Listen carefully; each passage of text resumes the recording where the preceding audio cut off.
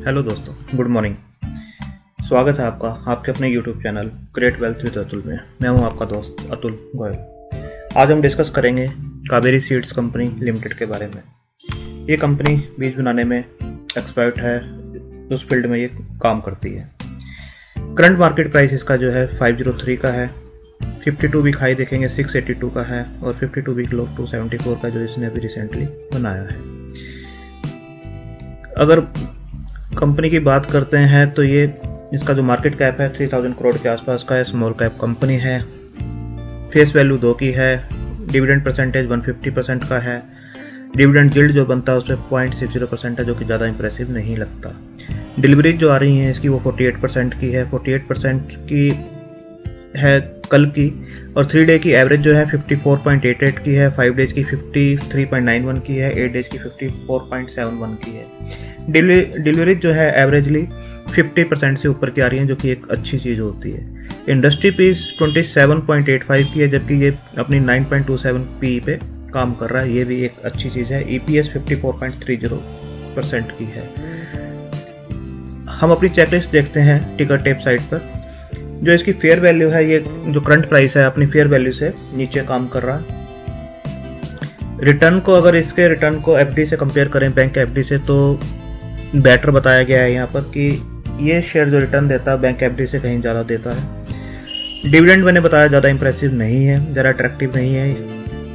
Entry level good time to consider मतलब stock अपने overboard zone में नहीं ओवरबोर्ड जोन होता है एक पीक जोन में चल रहा हो जहाँ पर लोग भाग रहे हैं उसे लेने के लिए। और उस टाइम पे क्या होता है कि करेक्शन होने का या नीचे आने का डर रहता है बट ये अपने ओवरबोर्ड जोन में नहीं है गुड टाइम टू कंसिडर है। नो रेड फ्लैग सेबी की तरफ़ से ये किसी भी ऐसे ग्रुप में नहीं डाला गया है जिसपे वॉच लिस्ट में हो जाए S M G S M या कोई प्लज कर रखे हों, या कंपनी को कोई नोटिस हो डिफ़ॉल्ट हो, कुछ भी ऐसा नहीं है। तो सेफ़ कंपनी है लो रिस्क कंपनी है, जैसे मैंने आपको बताया, यहाँ पे लो रिस्क कंपनी है। स्मॉल काप स्मॉल कैप है। सीड्स में ये काम करती है। 75 परसेंट एनालिस्ट बता रहे हैं कि इसे खरीदना चाहिए इस टाइम पर, इस प्राइस पर। आरओसी इसकी 23.5 परसेंट है। आरओसी होता है return on capital employed are इसकी आरओई का मतलब होता है रिटर्न ऑन इक्विटी 22.5 परसेंट है। ठीक ठाक है। अगर हम इसका चार्ट को देखते हैं जीरोदा पे हम अलग से डिस्कस करेंगे। अभी हम इसका 200 हंड्रेड डी को देखते हैं कि ऐसे ऊपर काम कर रहा है या नीचे काम कर रहा है।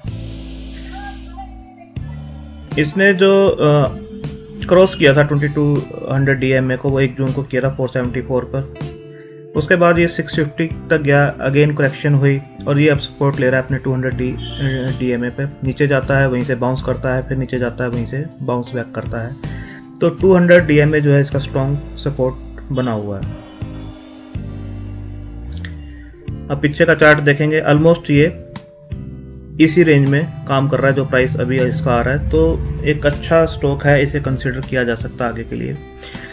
कंपनी है रिड्यूस डेप्ट डेट फ्री कंपनी है ये ऑलमोस्ट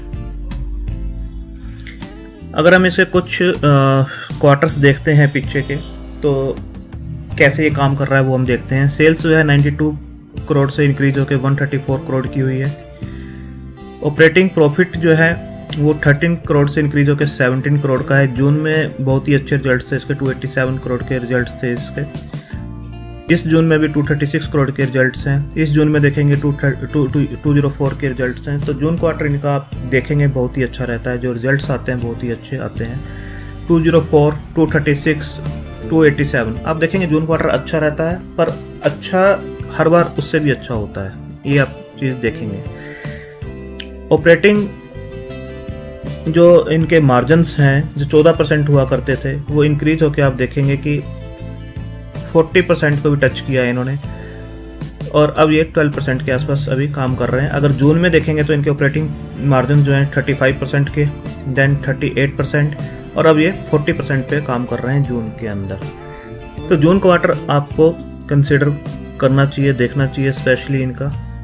तो नेट प्रॉफिट जो है 9 करोड़ से इंक्रीज होकर आप देखेंगे 295 करोड़ और यहाँ पे 23 करोड़ के आसपास का सितंबर क्वार्टर में इनके रिजल्ट्स आ रहे हैं। सितंबर क्वार्टर भी आप देखेंगे 15 करोड़ एंड देन 14 करोड़ और इस बार इन्होंने 23 करोड़ का प्रॉफिट दिया सितंबर क्वार्टर में। अगर इसको क्वार्टर टू क्वार्टर देखें, क्योंकि साइक्लिकल बिज़नेस में है सीड्स में है तो उसी हिसाब से इसका बिज़नेस चलता है। अगर सितंबर को सितंबर से कंपेयर करेंगे और जून को जून से कंपेयर करेंगे तो।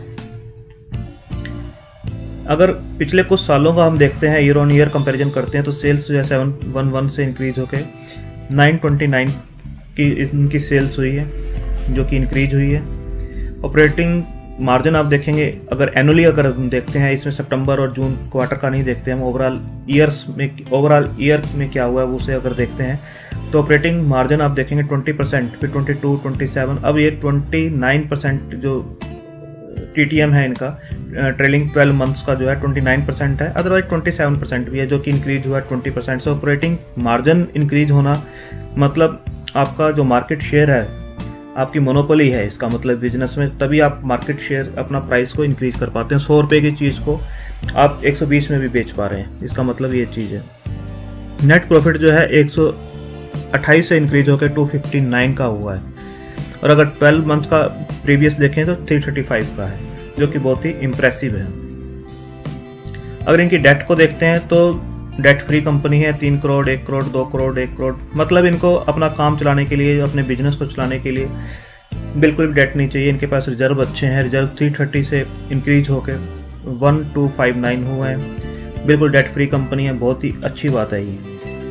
एसेट्स आप देखेंगे 868 से इंक्रीज होकर 1932 के हो गए हैं। बहुत अच्छी चीज़ है एसेट्स इंक्रीज हो रहे हैं डेट है नहीं रिज़र्व अच्छे हैं इनके पास। अगर हम इनके शेयर होल्डिंग पैटर्न को देखते हैं तो प्रमोटर्स ने जो है दिसंबर 2000 में सेवनटीन में जो थे 54.79 था। इन्होंने इंक्रीज किया 55.09 हुआ। अब 55.52 पे काम कर रहे हैं। मतलब बीच में ये अपनी प्रमोटर होल्डिंग को बढ़ा रहे हैं धीरे धीरे से। आप देखेंगे, दो ट्रेंचेज में इन्होंने अपनी प्रमोटर होल्डिंग को बढ़ाया है, जो कि एक अच्छी बात है। प्रमोटर को कॉन्फिडेंट है अपने बिज़नेस के ऊपर कि ये आगे चल के ग्रो करेगा, तभी वो अपनी होल्डिंग्स को बढ़ा रहे हैं। एफ़ आई आई देखेंगे 15.76 से इंक्रीज होके 17.55 13.01 से ये थोड़ा सा रिड्यूस हुआ है बट पब्लिक होल्डिंग जो देखेंगे, ये भी रिड्यूस हुई है। कहीं ना कहीं चंक जो है प्रमोटर्स ने और या फिर एफआईआई ने पिक किया है। पब्लिक होल्डिंग जो है 16.45 से रिड्यूस होकर 14.44 परसेंट हुई है। ये अच्छी चीज़ है। इस पे जो टारगेट्स अभी 12 नवंबर को जो मोतीलाल ओसवाल ने टारगेट्स दिए हैं अपने कावेरी सीड्स के ऊपर 634 के दिए हैं। मार्केट प्राइस अभी आपको मैंने दिखाया 500 के आसपास का है। यहाँ से ऑलमोस्ट आपको 30 परसेंट के आसपास के रिटर्न्स बनते हैं इनके हिसाब से बट मैं अपने टारगेट्स मेरे डिफरेंट रहते हैं। मैं आपको जिरोदा पे दिखाता हूँ, मैं जिरोदा एप्लीकेशन यूज़ करता हूँ तो ये जिरोदा का चार्ट है डेली का। डे फ्रेम जो है, डेली है इसके अंदर तो आप देखेंगे स्टॉक जो है, इस रेंज में पहले तीन बार टच कर चुका है। यहाँ पर काफ़ी पहले की मैं आपको बता बता रहा हूँ। ये जो रेजिस्टेंस है, ये काफ़ी स्ट्रॉन्ग रेजिस्टेंस है इसका। आप देखेंगे, यहाँ से स्टॉक राइज किया 550 के आसपास आया अगेन करेक्ट किया 440 450 के आसपास गया। फिर इसने इस लेवल को दोबारा टच करने की ट्राई की। नहीं हो पाया इससे। 550 के आसपास। फिर नीचे गया, फिर ऊपर गया, फिर नीचे, फिर ऊपर। उसी लेवल पे जाके ये रेजिस्टेंस फेस करता है 550 के आसपास। उसके बाद कोविड 19 की वजह से ये शेयर नीचे आया। इसने बहुत ही जल्दी से पिकअप किया और फिर देखिए आप, जैसे इसने 550 के लेवल को ब्रेक किया तो ये सीधा 683 के लेवल तक गया है, जब इसने 550 के लेवल को क्रॉस किया। अब इसके अंदर अगेन करेक्शन मोड में है और ये सेम उसी लेवल पे दोबारा आ गया है 480 500 की रेंज में। अब इसने जो रिसेंटली बनाया 480 के आसपास ये गया था और ये अभी 500 के आसपास है। अगर आपको 480 500 के बीच में कहीं पे भी ये शेयर मिलता है तो इसे लेना चाहिए। 480 के आसपास मिलता है तो बहुत ही अच्छा है, लेना चाहिए इसे। और अकोमोडेट करना चाहिए अपने पोर्टफोलियो में से रखना चाहिए। आपको मैंने बताया, अच्छी कंपनी है रिजल्ट्स अच्छे आ रहे हैं प्रमोटर अपनी होल्डिंग को बढ़ा रहे हैं एफ़ अपनी होल्डिंग को बढ़ा रहे हैं। कोई रेड फ्लैग कंपनी पे नहीं है और डेट बिल्कुल ज़ीरो है। 550 का जो है रजिस्टेंस इसका बनता है।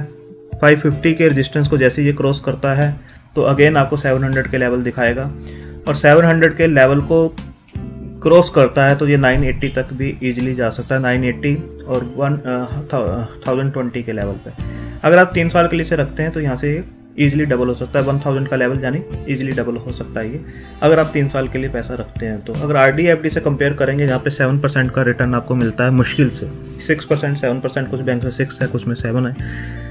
तो वहाँ से अगर कंपेयर करते हैं तो आपको डिविडेंड भी ये दे रहा है। इंप्रेसिव नहीं है बट दे रहा है। यहाँ से आपको शेयर डबल होने का पूरा दमखम रखता है। 550 का लेवल ये एक हफ़्ते में क्रॉस करेगा, दस दिन में क्रॉस करेगा, या तीन महीने लेगा या छः महीने लेगा।